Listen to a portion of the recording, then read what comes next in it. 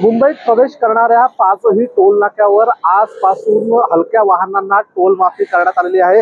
मी सध्या वाशी टोल नाका या ठिकाणी आहे. आपण पाहू शकतो की जी हलकी वाहनं आहेत त्यांना टोल न घेता आता सोडण्यात येत आहे. त्यामुळे टोल नाक्यांवरती होणारी जी वाहतूक कोंडी आहे यातून मोठा दिलासा जो आहे तो नागरिकांना भेटलेला आहे. त्याचबरोबर रोज ये जा करण्यासाठी या याच टोल नाक्यांचा वापर जो आहे तो प्रवासी आहेत ते करत असतात आणि त्यांना मोठा आर्थिक भुर्दंड जो आहे तो देखील बसत असतो आणि त्यामुळे त्याच्यातून देखील कुठेतरी सुटका जी आहे ती प्रवाशांची झालेली आहे.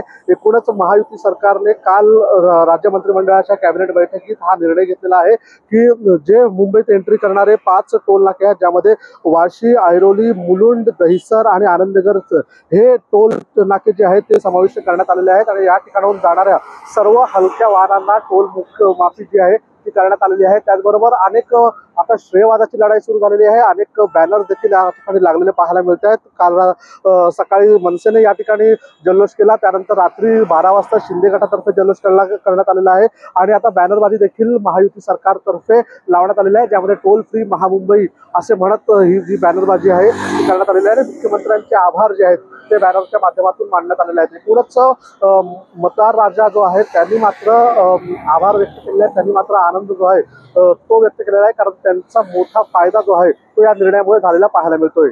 सिद्धेश म्हात्रे साम टीव्ही नवी मुंबई. देश विदेशातील प्रत्येक घडामोडींचे लाईव्ह अपडेट मिळवण्यासाठी आता साम टीव्हीच्या सर्व सोशल मीडिया प्लॅटफॉर्मला लाईक फॉलो आणि सबस्क्राईब करा. तसंच सर्व नोटिफिकेशनसाठी बेल आयकॉन प्रेस करायला विसरू नका.